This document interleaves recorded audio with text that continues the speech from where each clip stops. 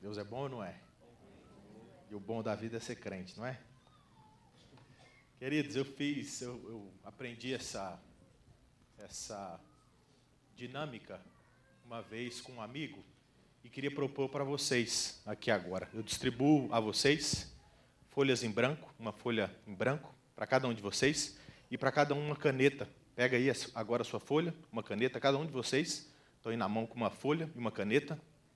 E eu vou dar cinco segundos para vocês desenharem uma igrejinha. Cinco segundos valendo cinco, quatro, três, dois, um. Solta a caneta. Não pode desenhar mais. Quem desenhou, vamos ser sinceros, quem desenhou uma casinha com uma cruz em cima, levanta a mão. Eu pedi para a gente desenhar uma igrejinha, não foi? E quem que falou para a gente que igrejinha é uma casinha com a cruz em cima? Igreja é uma casinha com a cruz em cima? Se derrubassem essa nossa igreja aqui, a gente ia deixar de se reunir?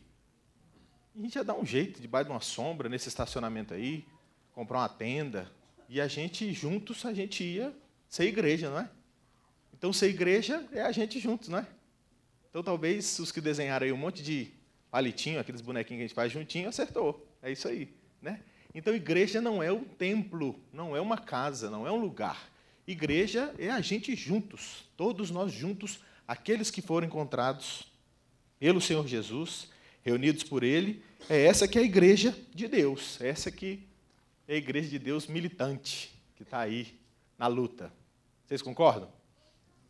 Pensando na igreja, tem parte de um versinho que me veio ao coração para a gente meditar nessa manhã, muito famoso, muito famoso. Eu quero te desafiar você a abrir sua Bíblia aí, Mateus 16.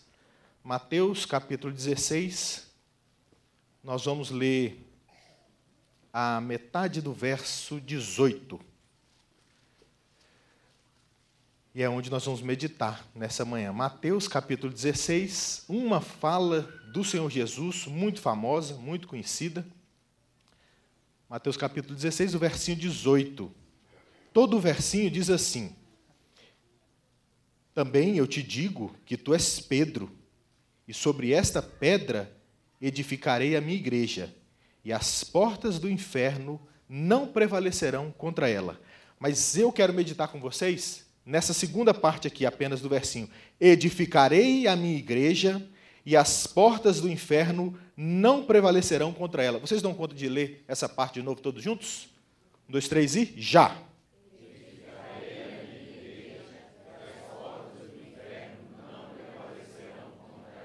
Edificarei a minha igreja e as portas do inferno não prevalecerão contra ela.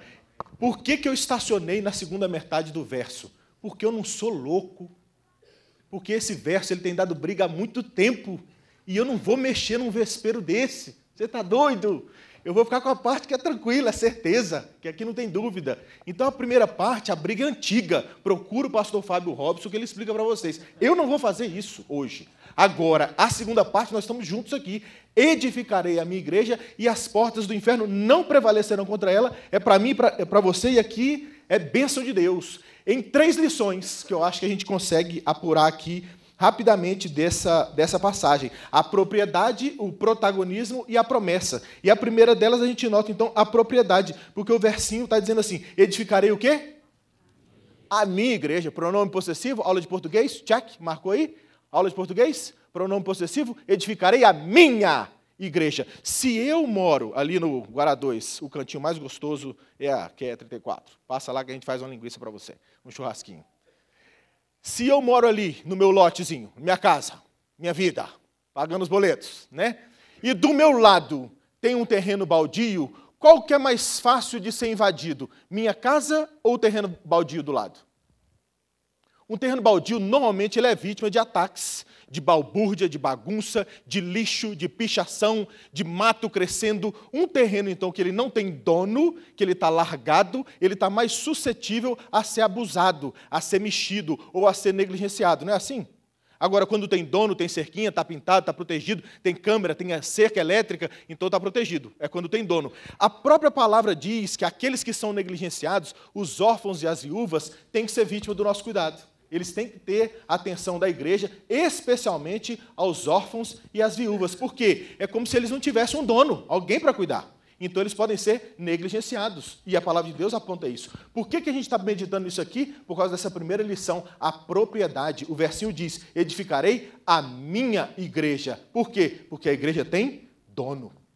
A igreja não é um terreno baldio, você não é de ninguém. Se a igreja, como a gente pensou no começo, são as pessoas, a igreja sou eu e você. Então você não é abandonado, largado, jogado, que podem abusar, pichar ou fazer mau uso de você. Não. Você tem dono, há uma propriedade. E quem que é o dono? É o que eu falo. Eu vim da Assembleia esses dias e preguei lá. A hora que eu falo uma hora dessa aqui, é fogo e poder. Quem que é o dono da igreja? É Jesus. Glória a Deus, igreja. É Jesus. Porque não basta ter dono, mas é o dono. Agora, quando a gente tem alguma coisa, quando a gente está meditando aqui na propriedade, a gente pode ser dono de alguma coisa, pensando rapidamente, de duas formas: por aquisição ou por herança. Fecha comigo? Aquisição e herança? Então, se o meu pai fosse então muito rico, ele deixa uma coisa a mim por herança. Então eu sou dono porque caiu no meu colo, glória a Deus, herança, né? Ficou para mim por herança ou por aquisição. Eu comprei, eu trabalhei, eu lutei, eu suei e eu compro. Então pode ser por herança ou por aquisição. Mas pensando na minha e na sua história, me vem à mente uma história que o pastor Joe me contou certa vez, que é a história de um menino que ganhou um barquinho do pai dele. Ganhou um barquinho que ele amava demais, ele brincava com esse barquinho amarrado no cordãozinho, num riacho perto de casa a vida toda e curtindo demais com aquele barquinho, até que um dia, enquanto ele brincava, aquela corda se partiu e o barquinho foi levado pelo riacho e ele perdeu o barquinho dele. Um belo dia, passeando pela cidadezinha que ele morava, ele vê na vitrine de uma loja o quê? O barquinho dele à venda por um preço caro demais, porque era um barco precioso demais, que o pai deu com esforço para o filho. E ele viu o barquinho dele à venda na cidade. Ele falou assim: Eu vou comprar de volta.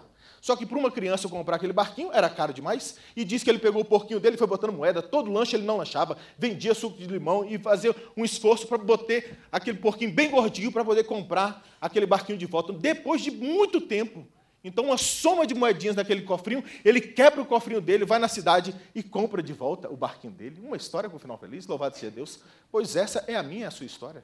A nossa propriedade, ela abraça tanto a herança quanto a aquisição. Nós somos do Senhor Jesus feitos dos dois motivos, porque o Senhor Jesus, o próprio Deus, nos deu, nós já éramos dele desde antes da fundação do mundo, mas por um rasgo na corda, o meu e o seu pecado, nós perdemos esse contato com Deus, pois o próprio Deus mandou o filho dele. Qual foi o preço?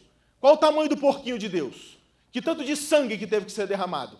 O próprio sangue do filho de Deus teve que ser derramado para comprar eu e você de volta. Nós temos dono, a igreja tem dono, você não é nem de você. A verdade é essa. Então, o mau uso que você faz da sua vida é você esculhambando com aquele que é seu dono. Porque essa vida que você vive, todo o seu coração, toda a sua alma, todo o seu entendimento, toda a sua força, não é seu. Você tem dono, você foi comprado. Houve um preço para. A gente saber essa propriedade, o volume dessa propriedade, nós temos que todos nos voltarmos para aquele dia e olhar para o Gólgota. Eram três cruzes. Todas as ofensas dos sacerdotes, dos soldados, dos simples, todo o ódio era cuspido na cruz do meio. Ninguém ousou falar em defesa daquele homem. As mulheres que foram até lá ficaram chorando caladas. Os discípulos, a maioria fugiu. O próprio Deus desamparou. Jesus grita: Deus meu, Deus meu, por que me desamparaste? O único que ousou levantar uma voz em prol do Senhor Jesus foi o outro bandido que estava do lado dele. Naquele dia, quando a gente se lembra do Gólgota, é você lembrar do preço que foi pago por mim e por você. Não tem lógica eu e vocês vivemos uma vida, se você é igreja, porque esse preço foi pago pela igreja, como se você fosse o dono do seu nariz. Essa igreja tem dono e ela tem um preço caríssimo.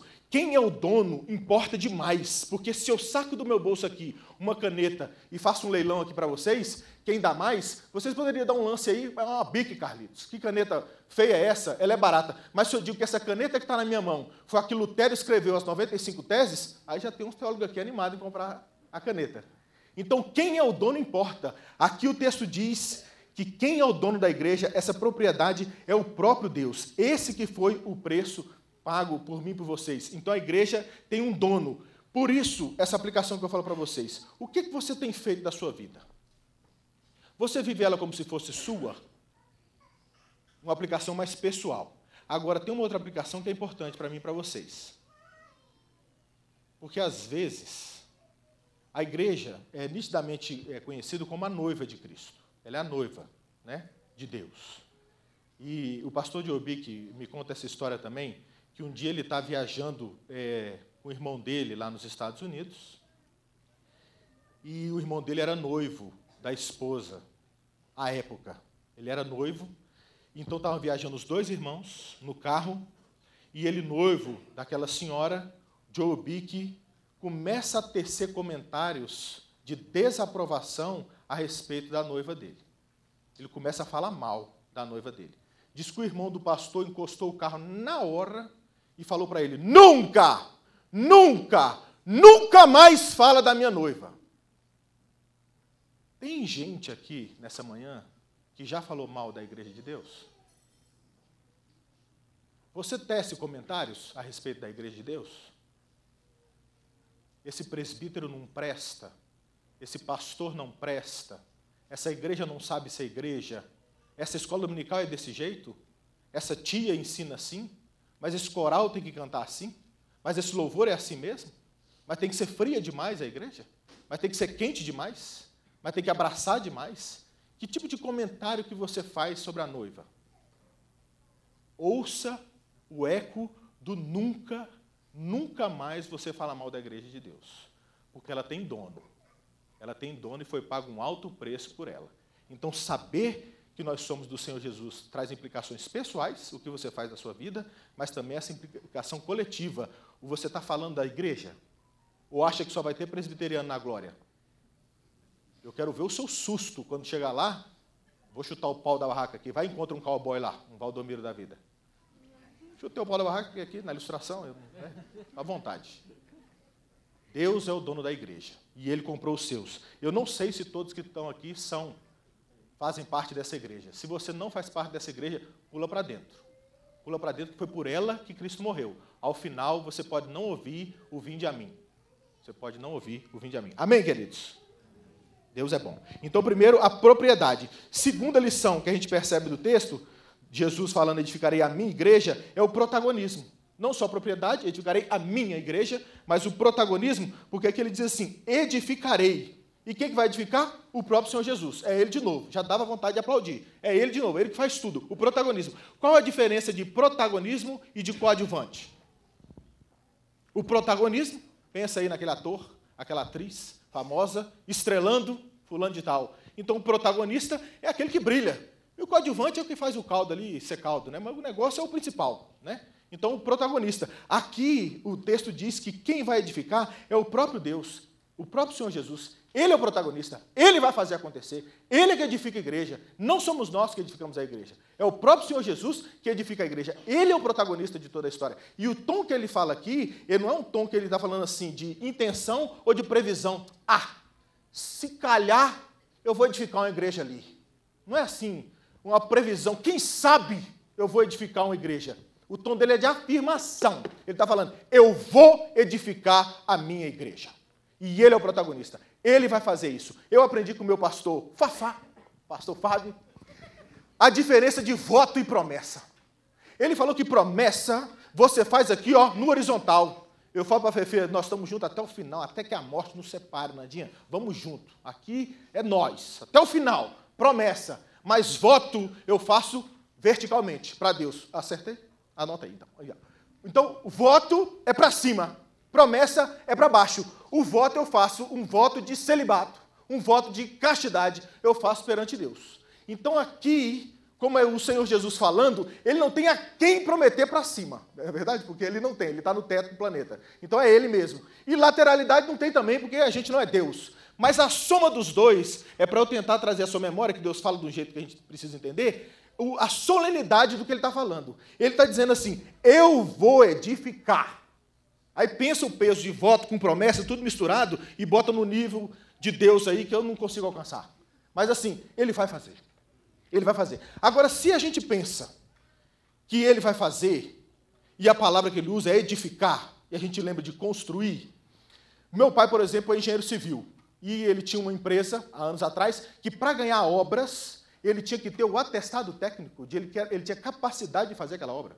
Só pega obra pública para fazer ponte quem já fez ponte. O governo não vai pagar para alguém estreante, novato, fazer ponte. Se quer fazer os dutos de esgoto, tem que ter feito esgoto, filho, senão não entra na concorrência. Então, para participar do edital de concorrência, para ganhar uma obra volumosa, você precisa ter o atestado de capacidade técnica. Se esse Senhor Jesus aqui está falando que vai edificar a igreja, vamos puxar o atestado de capacidade técnica do Senhor Jesus?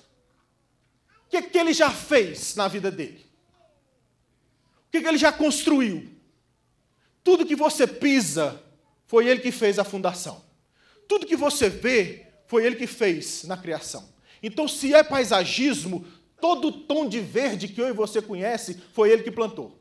Se é edificação, ele que fundou as colunas de toda a criação, diz 1 Samuel 2,8, eu acho, que fala que ele é que é o dono das colunas, e sobre essas colunas ele assentou o mundo e a história. Tudo que é criado, como é que, se for pensar em irrigação, em como é que faz para botar uma caixa d'água na minha casa, para ter água, ele é que criou toda a água do planeta, que alimenta esse planeta todo. Ele tem capacidade técnica para edificar ou não? Esse aqui é, um, é o pedreiro dos pedreiros ou não é? É o arquiteto por excelência ou não é? Então, se eu olhar a capacidade técnica do próprio Senhor Jesus de edificar, está a prova aqui, ó. É só olhar para o lado. É só ver como é que funciona. Então, ele tem a manha de edificar. Mas a gente está pensando em coisas. E se a gente for pensar em gente? Aí eu te levo ao Salmo 139. Ele sabe fazer gente ou não sabe? Está ali, o meu milagrinho ali, dormindo. Eu espero, eu gritando aqui, ele dorme ali. Porque como é que faz gente? Quem que inventou osso? Quem que pariu a medula? Quem que pensou num coração como uma bomba hidráulica irrigando tudo? Quem que pensou nesse cantil de ar aqui que fica enchendo e esvaziando? Quem que pensou esse tipo de pele que é melhor do que a de mergulho, que seca com facilidade, se corta, remenda por si só? Quem que faz gente? Vamos juntos ao vale de ossos secos, então. Que pega um vale de ossos secos e, pelo tom da voz ali, no poder da voz do próprio Deus, ele faz carne, nervo, osso e tudo. Ele tem a capacidade de edificar ou não tem? E fora essas coisas, então, materiais, tanto coisas quanto gente, é ele que tem a manha de fazer espírito e alma vivente ou não? Que ele sopra vida nas coisas. Esse tipo de Deus, ele vai edificar a igreja dele ou não? Tem capacidade técnica o Senhor Jesus para edificar a sua vida ou não? Ele vai edificar. Ele vai edificar. E dentro dessa edificação, se a gente pensar o que Deus fala de edificar, normalmente edificar a igreja, por óbvio, a gente pensa em duas coisas. Para edificar a igreja, tem que ser primeiro igreja, porque não é todo mundo que é igreja. A gente já falou isso, é o coleginho de Deus aqui, a turminha de Deus que é a igreja, né? Então, para ser igreja, tem que passar por time da igreja, tem que ser batizado e ver e assumir. Eu sou casado com ele, com o Senhor Jesus, eu sou da igreja. Então tem que estar no time de Deus. Uma vez no time de Deus, além de ser salvo, tem que ser santificado, não tem? É só olhar para a sua vida, não tem que santificar? Um pouco, né? Então, o que é essa edificação de Deus? Me parece que, pela doutrina do livro dele, ele vai salvando gente e depois que está no time dele, ele vai santificando gente. Por quê? Porque a noiva ainda está esgrenhada. Há coisa para fazer. Você não está bonita, noiva. É só você se olhar no espelho. Seu esmalte não está no lugar, sua unha não está bonita, seu cabelo não está bem, e está chegando o casamento e você ainda está podre. Desculpa, estamos em casa, estou falando a verdade. Né? Então, por que ele vai edificar a igreja? Porque tem muitos perdidos e o convite dos perdidos está na minha boca e na sua boca, chama para vir para a igreja, para ser noiva, chama para casar, bora, vem, vem, vem, vem. Tem tempo e uma vez dentro, vamos arrumar porque não está bonita. A gente não está bonito e é fácil saber que não está. É só pensar em como eu e você a gente tem vivido. Essa edificação, então, é o próprio Deus cuidando de mim e de você para aquele dia, salvando gente e santificando os que já estão no time de Deus, para o dia do casamento em que o Senhor Jesus vai nos apresentar sem ruga, sem mácula e falar assim: está aqui, missão cumprida. Essa é a noiva do Senhor Jesus. Deixa eu fazer uma pergunta para vocês. Você faz parte da noiva? Você é da igreja de Deus? E se você é da igreja, você está pronta para casar? Sua vida está. Pode jogar luz em cima aí que está tranquilo? Rasga sua cabeça e me deixa visitar seus pensamentos aí. Está tudo bem? Está santo? Está santa? Isso que você vive é casamento de verdade? Isso que você vive é santidade de verdade? Esse tipo de namoro que você tem é isso aí mesmo?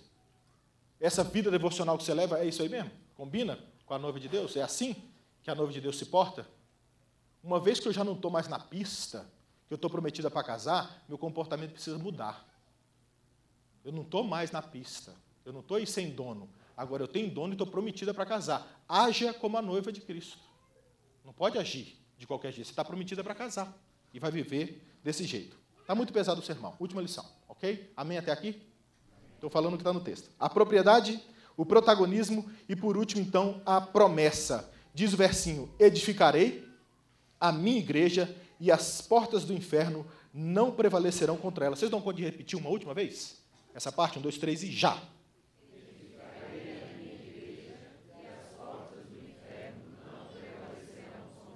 Passamos pela propriedade, temos dono, passamos pelo protagonismo, é ele que edifica, e agora a promessa. Olha aí como é que ele termina. E as portas do inferno não prevalecerão contra ela.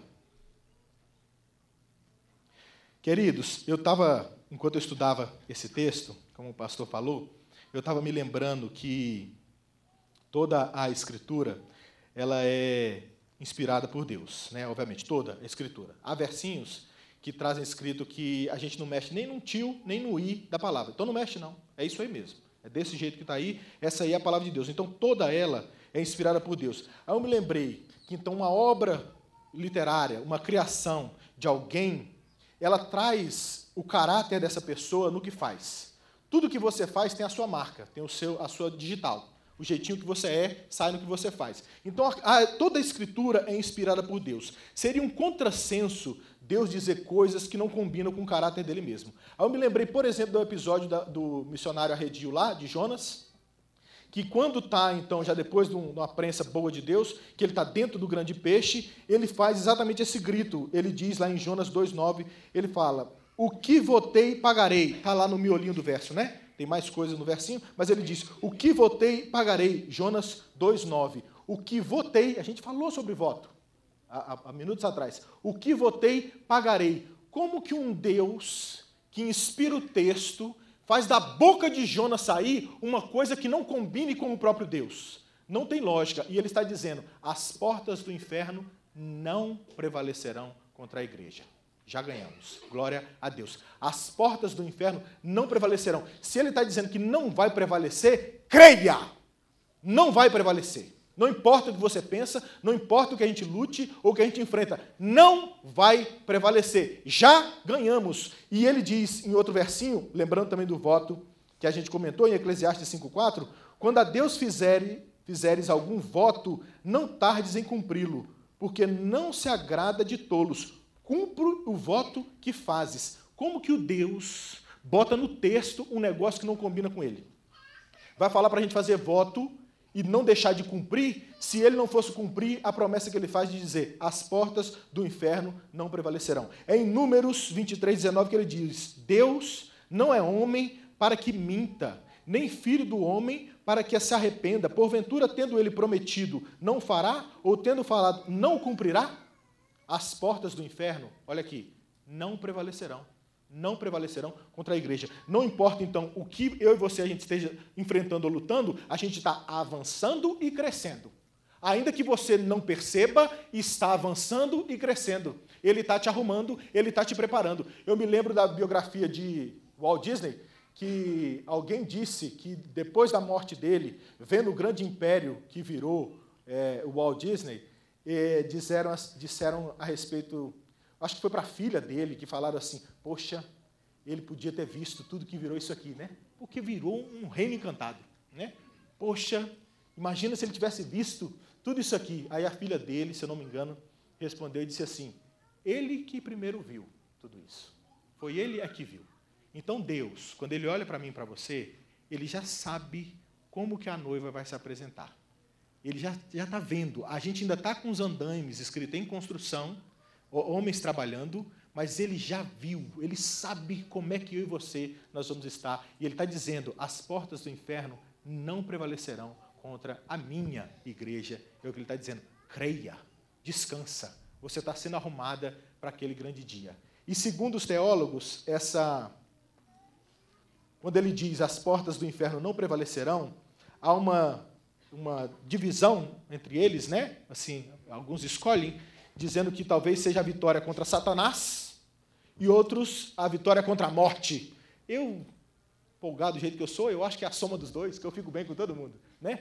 Então, quando diz que as portas do inferno não prevalecerão, há uma linha que diz que então ele vai vencer contra Satanás. E outra que diz que ele vai vencer contra a morte. Eu acho que ele vence tudo, porque ele vence mesmo. Né? E se olhar o retrospecto aqui, ele não vence Satanás, não.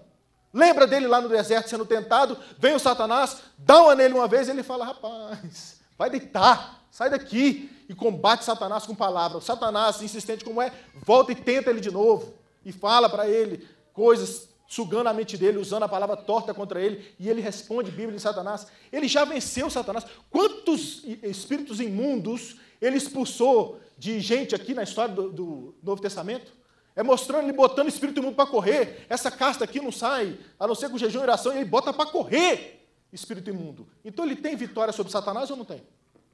Então você não vai perder para Satanás, porque as portas do inferno não prevaleceram contra a igreja. Agora, se não for Satanás e for a morte, aí também, piece of cake, aula de inglês no meio do sermão, né? Mel na chupeta, porque já venceu a morte. O próprio Senhor Jesus venceu. Queridos, nós estamos falando sobre a igreja de Deus.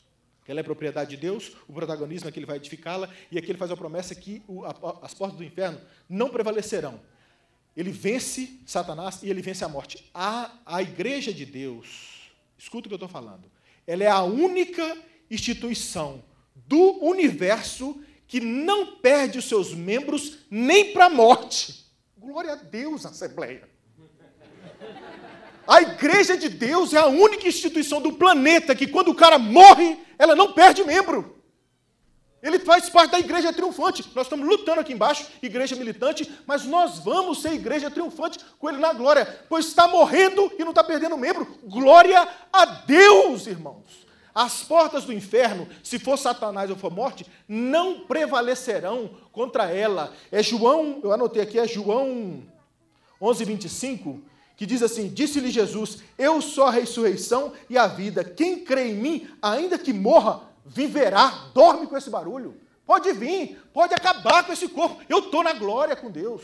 Já ganhamos. Ou então, João 10, 28, e lhes dou a vida eterna, jamais perecerão, e ninguém as arrebatará da minha mão. As portas do inferno não prevalecerão. Eu não sei que tipo de buzina o inimigo está buzinando na sua cabeça, ou que tipo de pecado você está enfrentando. Já perdeu, você vai ganhar. Porque quem prometeu vai cumprir. Você não vai ficar caído pelo caminho. Não existe perder salvação. Se você é do time de Deus, já ganhou. E eu termino com uma história, porque eu estou empolgando aqui, achando que eu estou na Assembleia, pastor. Foi mal.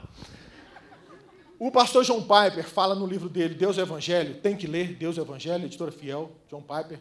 No final ele diz que uma ilustração que um exército estava em guerra com o outro. E aí diz que o, o exército, os que estavam do exército amigo, do bem, o do bem e o do mal, eles foram presos. O pessoal do bem foi preso, mas levou aqui dentro aqui do negocinho aqui, ó, um walkie-talkie, um radinho. Atenção, atenção. Guardou aqui, está lá no preso. Né? Os inimigos prenderam os soldados do bem. E aí diz que num dia que deu uma chuva forte, que o barulho estava grande lá fora, o exército conseguiu fazer um contato com os prisioneiros lá. Atenção, atenção, campo. E eles lá dentro da cadeia, presos, pegaram o radinho aqui e ouviram: câmbio, estamos ouvindo aqui, estamos presos, mas o que, que, é que foi? Aí o exército lá fala assim: fica tranquilo, já vencemos o exército inimigo. Aguenta que nós estamos indo te buscar. Câmbio. Glória a Deus, igreja. Eu vou passar um radinho para vocês aqui, ó e as portas do inferno não prevalecerão contra vocês.